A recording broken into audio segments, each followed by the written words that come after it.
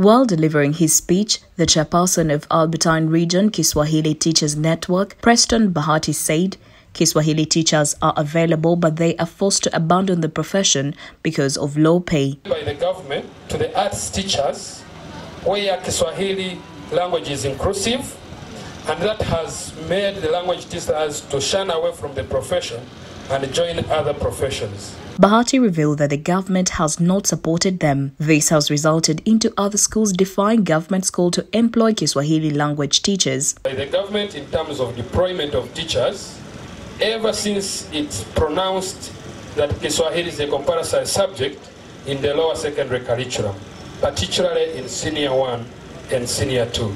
Sheikh Ismail Mivule, the chairperson, Umoja wa Mwalimu wa Kiswahili kwa Uganda, noted that the teaching of this subject should start from kindergarten if it's to be promoted.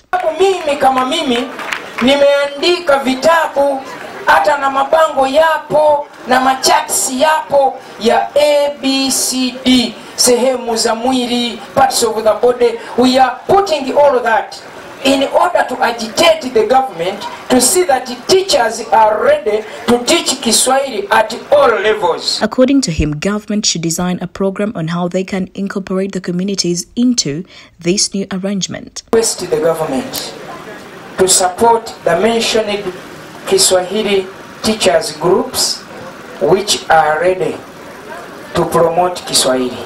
We should have a society that accepts the languages that unites us. And one of it is Kiswahili.